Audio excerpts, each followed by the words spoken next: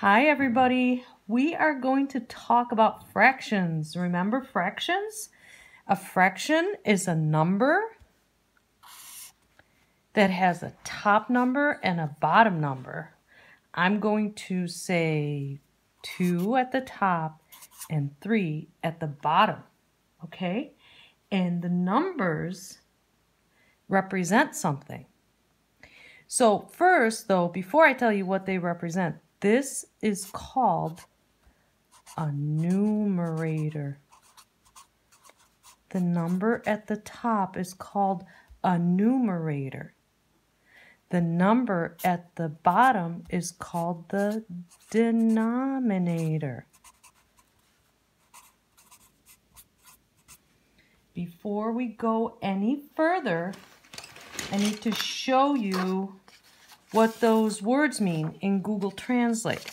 So I don't know if you can see it very well, but in Arabic, bust الرقم الفوق مقام الرقم الجوا. Okay, Bangla. Here we go. And Vietnamese. Top number and then bottom number. Okay, numerator denominator. Okay, so what is this number? This is my son's pizza getting ready to be cooked. Um, this number represents the whole thing. So if I had my son's pizza pie, I'm dividing it into three parts, right? So there's one, two, three. This is all of the parts. This doesn't look very good, but they're all supposed to be equal parts. Like they can't be this is much bigger and this is smaller. It's got to all be equal, same size, right? So let's do a rectangle. You'd go, right? One, two, three. One part is called a third. A third, right? Because it's one out of three right? Okay, so um, I do want to mention one more thing about what these numbers represent. So this is the whole, all of it, whole. This is the part we are talking about. Whole and part. So this third is a part, little bit of the whole thing. Let's go back to our number. Oops, I guess I didn't have those numbers showing. Online teaching is hard. Okay, so this is part of it, right? So I want to look at the pizza and I want to shade, what do I shade? Two out of the three, right? Look at this one. What would I shade? One, two, right? Okay, let's talk about our assignment for this week. Oh, let me show you the translation. This is for Arabic, whole and part. Can we see it? Juzu ukamil. Vietnamese, part and whole, the whole thing. Um, sorry, that was Bangla. Vietnamese, part and whole.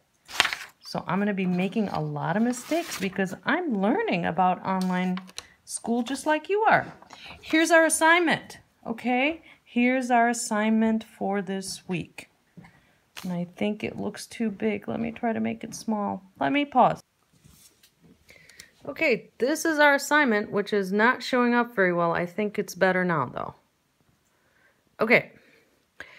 So, um, there we go. Okay. It says to look at this number. It's a fraction, right? And tell me, is the number 5 a numerator or a denominator? Is the number 4 a numerator or a denominator? If you draw a shape showing 4 out of 5, How many total, the whole thing, equal parts would you draw? How many parts would you divide it to? If you draw a shape showing 4 out of 5, how many parts would you shade to show 4 out of 5? So how many parts would you shade? You decide if you're going to do 4 or 5. How many equal parts would you draw? Would you draw 4 equal parts or 5 equal parts? Okay, number 5.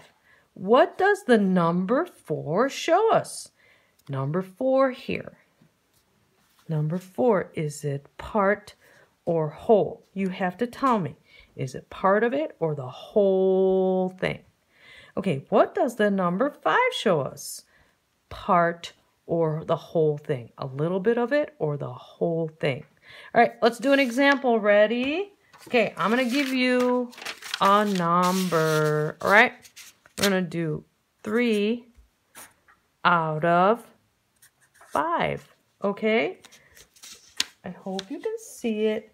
This is the numerator. Number up top. This is the denominator. Okay? This is part, a little bit of the whole thing.